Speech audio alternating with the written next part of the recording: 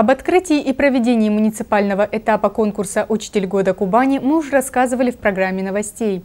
Каждый этап нелегкого, но очень нужного и важного для педагогов конкурса потребовал от его участников напряженной и очень продуктивной работы.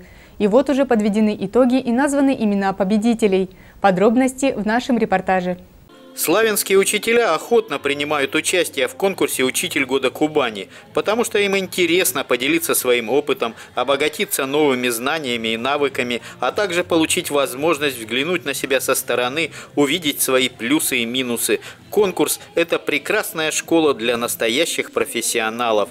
Выдержав немалую конкуренцию, финалисты конкурса смогли проявить свои таланты. Серьезными испытаниями для них стали мастер-классы, открытые урок. И вот торжественное закрытие муниципального этапа конкурса.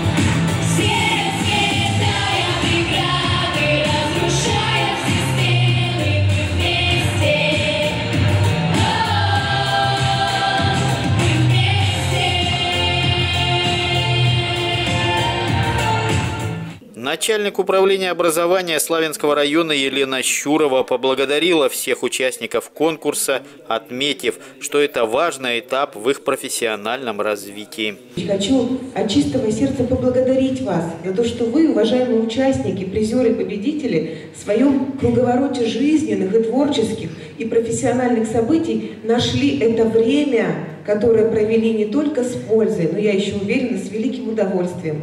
Вы познакомились, вы общались, вы делились опытом. Все-таки мы меняем подходы к конкурсу, делаем их гораздо интереснее, продуктивнее. Спасибо вам за то, что мы одна большая дружная педагогическая семья. Мне очень приятно с вами работать, и сегодня на сцене мы видим лучших представителей профессии, но там у нас сегодня дома остались такие же, которые дают уроки и всегда находятся с детьми. На мероприятии присутствовали директора школ, педагогические работники, специалисты управления образования. Директор 11 школы Татьяна Стаценко сказала, что самая главная победа – это победа над собой, и через преодоление препятствий педагог переходит на новый уровень. Надо сделать усилия над собой и одержать эту победу. Вот вы первую победу над собой одержали. И я хочу пожелать вам, чтобы она была не последней. Идите вперед, совершенствуйте свое мастерство. Пусть рядом с вами всегда тепло будет вашим ученикам. Пусть от ваших идей питаются ваши коллеги.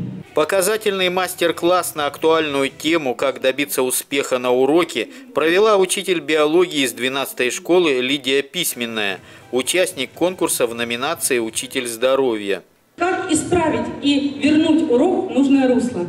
Нужно стать учителем-фантазером. И вот тут я включаю фантазию. Как же сделать так, чтобы вернуть легкость уроку? Интересно начать его. Всем вам знакома такая технология, как триггер. Это какой-либо предмет, что-нибудь такое, что сразу же привлекло внимание учеников. Затем началась торжественная церемония награждения победителей, призеров и лауреатов муниципального конкурса профессионального мастерства «Учитель года Кубани-2022».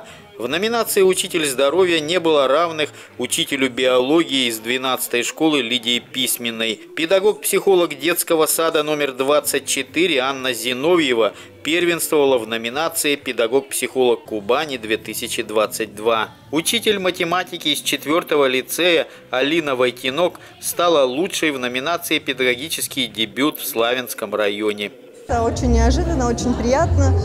Но э, готовилась я, конечно, со всей отдачей, э, старалась, э, выкраивала время среди уроков. Э, очень рада в номинации «Основной конкурс» победу одержала учитель истории из первого лицея Анна Криховецкая. Я хочу поблагодарить всех своих коллег, друзей, наставников, которые были со мной на пути к этой победе.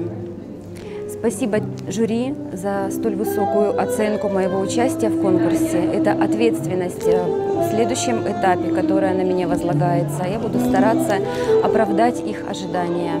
И, конечно же, сейчас э, хочу в первую очередь порадовать своих учеников результатом, потому что они мне давали энергию для участия в этом конкурсе. Я была рада поучаствовать э, в этом конкурсе, пообщаться со своими коллегами, приобрести новый опыт, испытать себя.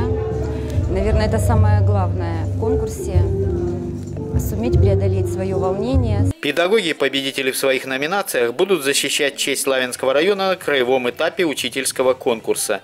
Праздник педагогического таланта успешно завершился. Он запомнится всем, кто принял в нем участие, потому что был ярким и имел свое лицо. Самое главное, что в выигрыше остались все участники, педагогические коллективы и для школьников есть отличные новости. Они смогут получить от своих учителей и конкурсантов больше современных, очень нужных в жизни знаний. Андрей Вишневский, Дмитрий Волошин, программа «События».